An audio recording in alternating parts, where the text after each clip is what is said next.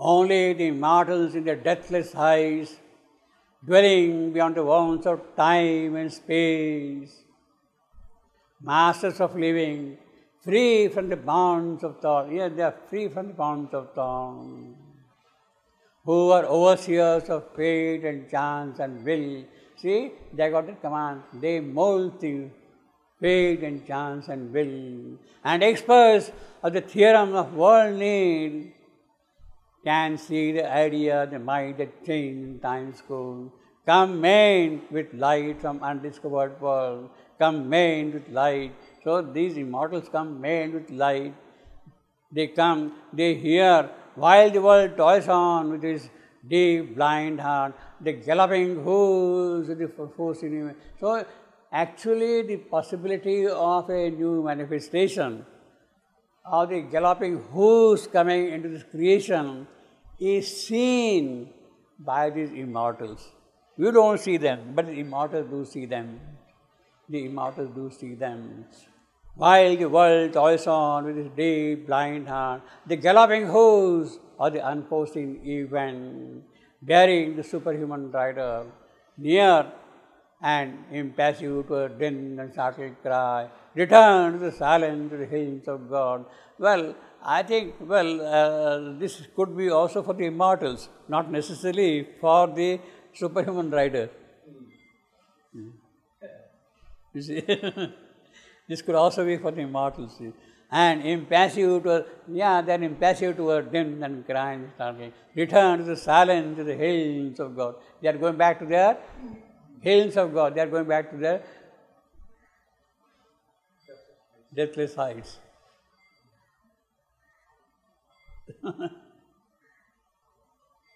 they see all these things happening in the mortal world, in this mortal creation. And then, in other words, they have now whatever has got to be done, whatever had to be seeded, that has been done, and now they go back. In other words, these gods do not directly participate by their physical presence, so to say, in this process of time. They initiate certain things, they activate certain things, and then they work from above.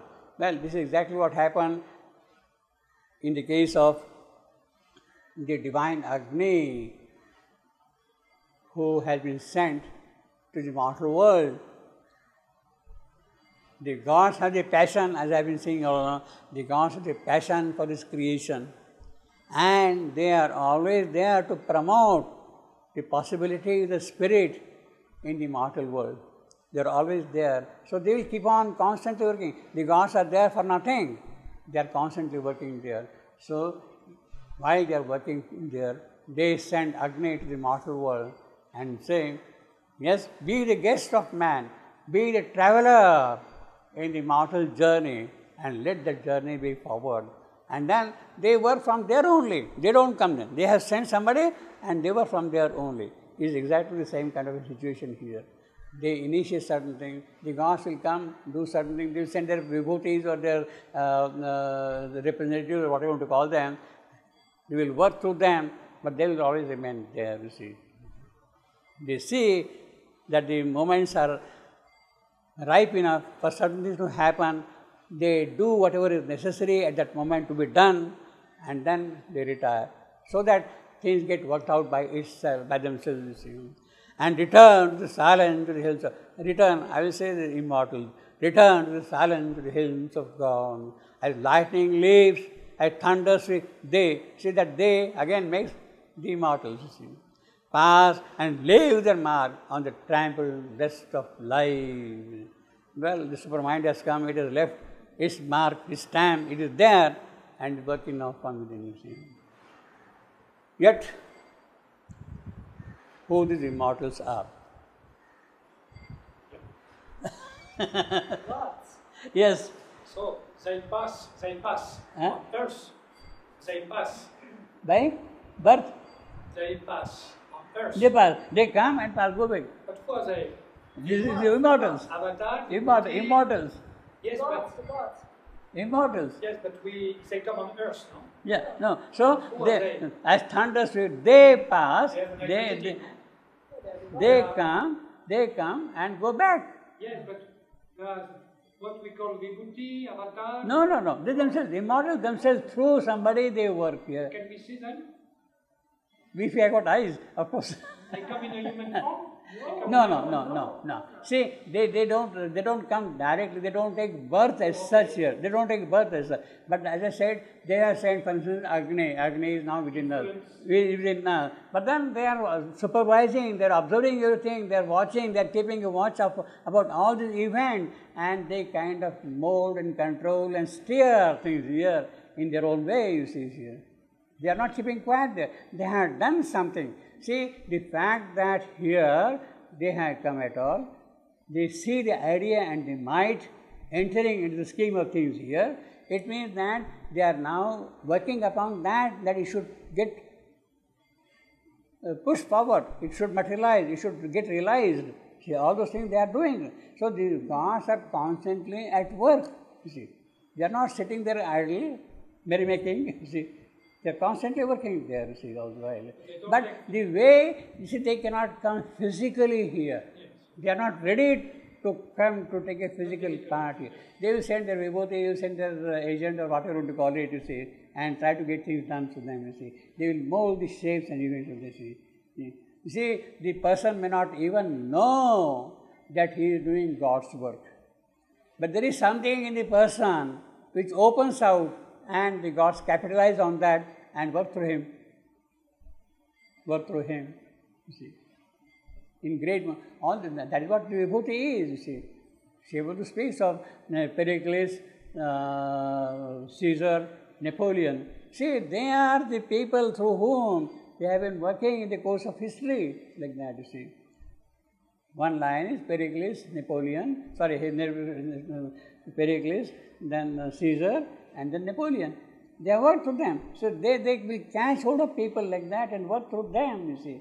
They will give all their necessary strength, their might, whatever is required, like that, you see. Sri Aurobindo uh, speaks of another line. Uh,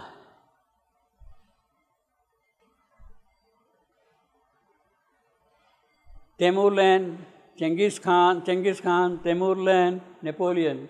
Another line. they work through them. It may look to you something very disastrous and uh, dangerous kind of a thing, but they work through to achieve certain, to initiate things, to make them go forward in a way, you see. They work. It happens.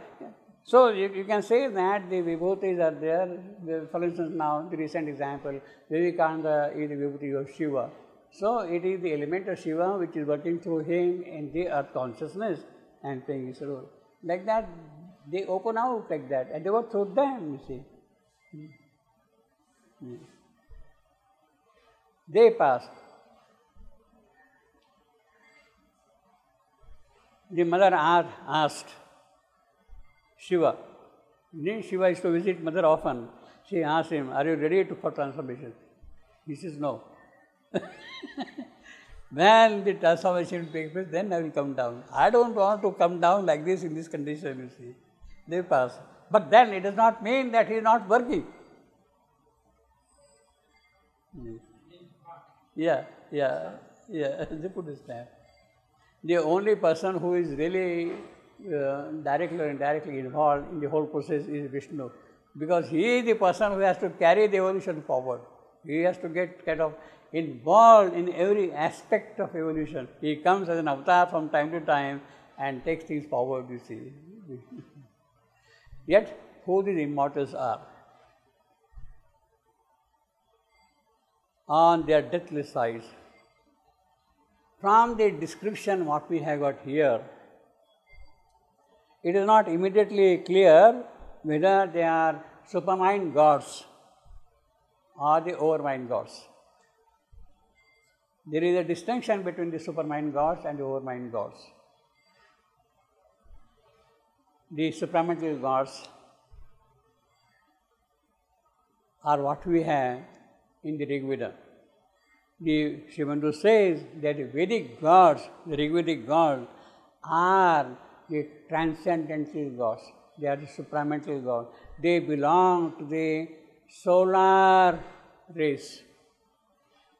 The trans- solar race. He speaks of Varuna, Mitra, Aryamana, Bhaga, Savitra, Agni, Indra, Vayu, they are all supramental gods. Now, from the description, I don't think these immortals here are those supramental gods. Hmm. Because for the supramental gods to work here, things are not yet sufficiently ready that they should come and participate in here. So it is not the transcendental gods of the Vedam, the solar gods, to whom you would recognize as the immortals of this passage here. They are, of course, on the deathless height, etc., etc., but they are not here. These, in my opinion, are still the high overmind gods. High overmind gods. They are still close to us. They can participate, that come directly. Supramental gods, there is no basis for them, there is no adhara for them to work here. But the cosmic gods, the universal gods, the overmind gods, I got adhara here and they can work here. So I will rather identify. Now, of course, these overmind gods are what you see in the kind of descriptions you have in the Upanishads and the Puranas. The gods of the Purana and the gods of Upanishads are not exactly the transcendental solar gods. They are the overmind gods. Definitely, the gods of the Puranas are the overmind gods. Agni, Vayu, Indra, the names are the same, but their character, their functions, their character and functions are different. So when you talk of Indra, you have to really understand, or Agni, you have to understand, or Vishnu, you have to understand whether it is supramental God or the overmind God. We have to understand that, you see. But here, from the nature of the description, we see that these are the Puranic gods Vishnu, Brahma, Shiva, Agni, Vayu, and so on. So these, these immortals I will rather identify with the Upanishadic Puranic gods. In fact, in one of the places in the, in the, in the secret of the Vedam, he speaks of the difference between the Puranic gods and the transcendental gods. Although the names might be the same, but their character is different, their functions are different, their status is different. Whether it is Indra or the Puranic god or Indra or the Vedic gods, that you have to understand. Therefore, here we have got only the vague term, immortals. The vague term. See, he is not saying Indra or Agni or Vayu, he is not saying Because the moment you talk of Indra, Agni, Vayu, then you will try to identify this or with that, you see.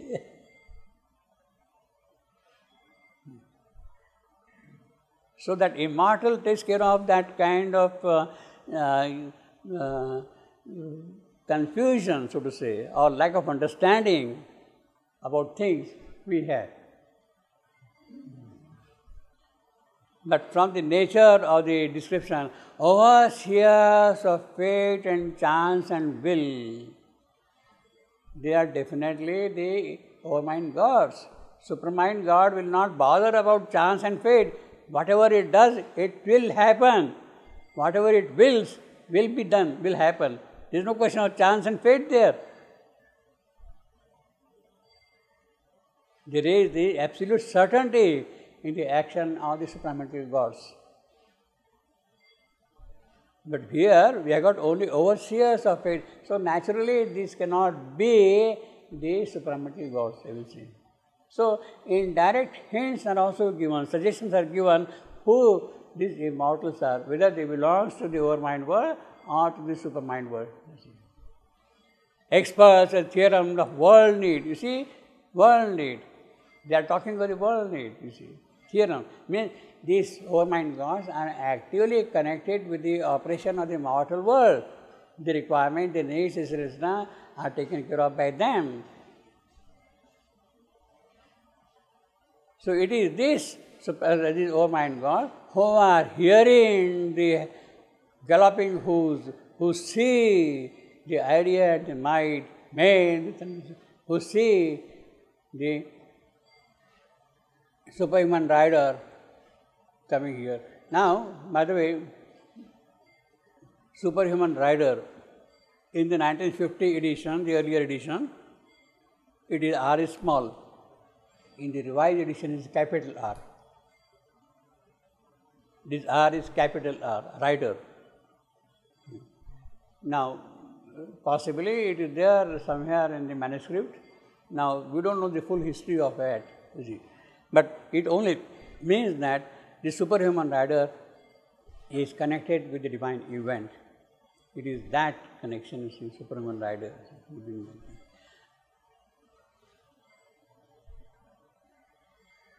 Yet, who is the superhuman rider?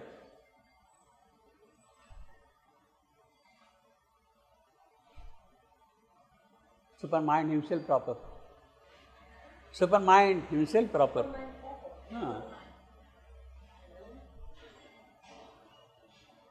I will say Supermind himself proper. They see is coming down here.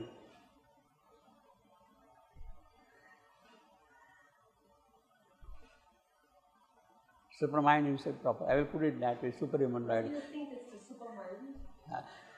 See, he is talking of now something which is going to happen beyond man, superhuman. Yes. Who is going to bring that thing? Only Supermind. A new race, new Gnostic being, new manifestation, unforeseen event, they are connected with the possibility of the supramental manifestation in this creation. Possibility of see, I will put that way.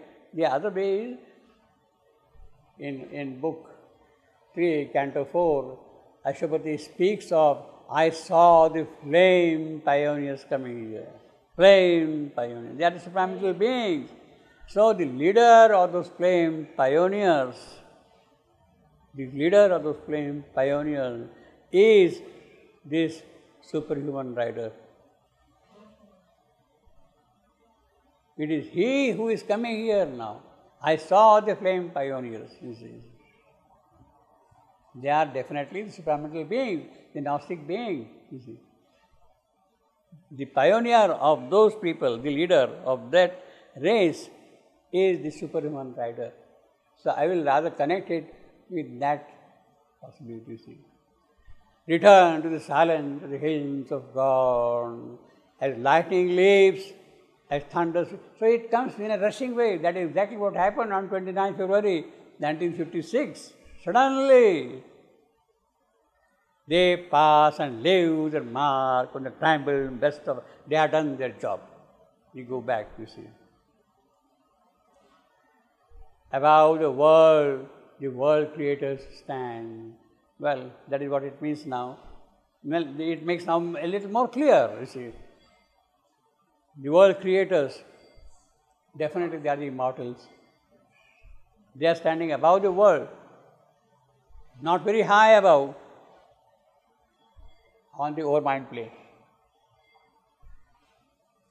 World creators, yes. Yeah, they pass and leave their mark on the trampled breast of life. They pass means they say immortals cars, they put their stamp, mark, they leave their mark and go back. Their job is done. As I said, they have seeded, whatever has got to be seeded. Job is done, the gods are done. Because they have seeded whatever has got to be done, therefore they become the world creators. They become the world creators. They have done their job. They create new things about the world. The world creators stand. What a line you see. Above the world, the world creators stand. Above, I am the world, I am the world, I am create, I am plus stand, I am five amps. You see?